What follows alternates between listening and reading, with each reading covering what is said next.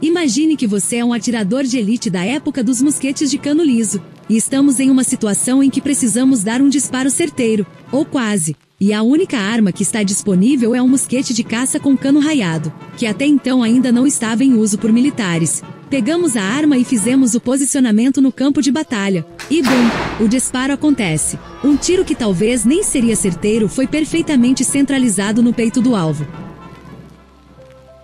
Sejam todos bem-vindos de volta ao nosso canal. Eu sou Alice. Hoje vamos explorar a incrível história do rifle Baker, uma arma que se destacou nas guerras napoleônicas. Vamos descobrir por que ele era tão preciso, mortal e confiável. Mas antes de entrarmos nessa jornada, não se esqueça de se inscrever no nosso canal e ativar o sininho para receber todas as atualizações. No final do século XVIII, um período de intensos conflitos durante as guerras napoleônicas. Os campos de batalha europeus eram dominados por mosquetes de cano liso. Essas armas eram robustas, mas careciam de precisão em longas distâncias, levando os soldados a utilizar táticas de disparo em massa. No entanto, as táticas de combate evoluíram graças às inovações francesas, que empregavam formações abertas e disparo em grupos menores. Os britânicos perceberam a necessidade de inovação e buscaram armas mais precisas. O rifle Baker surgiu como uma inovação revolucionária, com sua precisão, alcance e confiabilidade superiores. Essa arma desafiou a norma de que rifles eram apenas para caça e transformou o campo de batalha.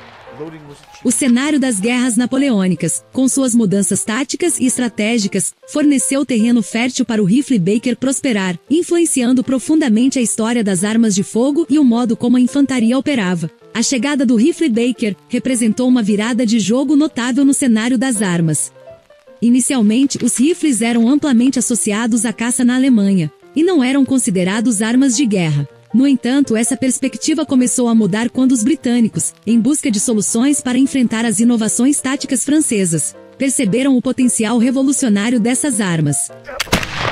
O que tornou os rifles Baker verdadeiramente notáveis foram duas características fundamentais. Em primeiro lugar, possuíam um alcance efetivo consideravelmente superior, em comparação com os mosquetes de cano liso tradicionais, permitindo que os atiradores atingissem alvos a distâncias notáveis. Em segundo lugar, a precisão notável desses rifles os tornou ideais para o tipo de combate em campo aberto, que estava se tornando predominante nas guerras napoleônicas. Dessa forma, o rifle Baker não apenas desafiou as crenças convencionais sobre o papel dos rifles em conflitos, mas também proporcionou às forças britânicas uma ferramenta eficaz para lidar com as táticas francesas inovadoras daquela época.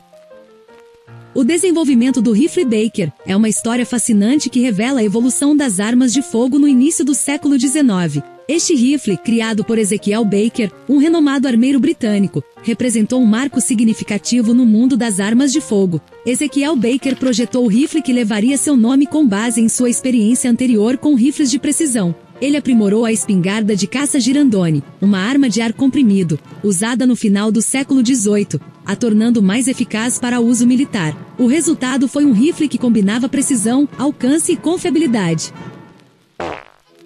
O segredo do sucesso do rifle Baker estava na espiral raiada de seu cano, que dava maior estabilidade e precisão no disparo. Além disso, seu sistema de disparo era inovador, permitindo que os atiradores recarregassem enquanto permaneciam deitados, o que era uma vantagem tática considerável. Essa capacidade de atingir alvos distantes com precisão fez do rifle Baker uma escolha valiosa no campo de batalha, onde a precisão e o alcance eram fatores cruciais para obter vantagem sobre o inimigo. As táticas de escaramuça desempenharam um papel crucial nas guerras napoleônicas, e o rifle Baker se revelou uma ferramenta inestimável para as unidades britânicas, como o corpo de fuzileiros que as empregaram com excelência. O segredo estava na precisão notável do rifle Baker. Enquanto os mosquetes tradicionais tinham dificuldades em atingir alvos distantes de forma eficaz, o rifle Baker podia disparar com precisão em alvos específicos a longas distâncias. Isso era fundamental para as táticas de escaramuça, nas quais pequenos grupos de atiradores britânicos se espalhavam e atiravam de posições estratégicas, causando danos precisos às forças inimigas. Essa capacidade de disparar com precisão em escaramuças permitiu que as forças britânicas minassem as linhas inimigas e enfraquecessem suas formações antes de um engajamento em grande escala. O rifle Baker, com sua habilidade única de atingir alvos a longas distâncias, desempenhou um papel essencial nesse tipo de tática, contribuindo para o sucesso das forças britânicas nas guerras napoleônicas.